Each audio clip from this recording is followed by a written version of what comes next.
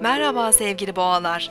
Sorumluluklar ve birikmiş işler biraz moralinizi bozabilir. Ev ve ofiste mekanları temizleme, düzenleme, hesap işleriyle uğraşabilirsiniz. Günü verimli değerlendirin. Akşam saatlerinden itibaren sosyal çevrenizden gelecek haber ve davetler neşenizi yerine getirir. Bugün 9 Haziran 2014 Pazartesi. Ay günündeyiz. Terazi burcunda ilerleyen ay sabah saatlerinde boşlukta olacak. Kararsızlık ve belirsizlik günlük işlerimizi etkileyebilir. Ay öğlen 13.39'da Akrep burcuna geçecek. Akrep burcundaki ay yoğun duygulara ve tutkulu davranışlara neden olabilir. Ay gün içerisinde Merkür ve Neptün'le olumlu görünüm yapacak.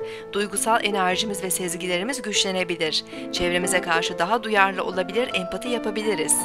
Venüs-Plüton arasındaki olumlu görünüm, maddi konularda güven ve istikrar sağlamamızı kolaylaştırabilir. Balık burcundaki Neptün bugün retro harekete başlayacak. Neptün 16 Kasım'a kadar retro olacak.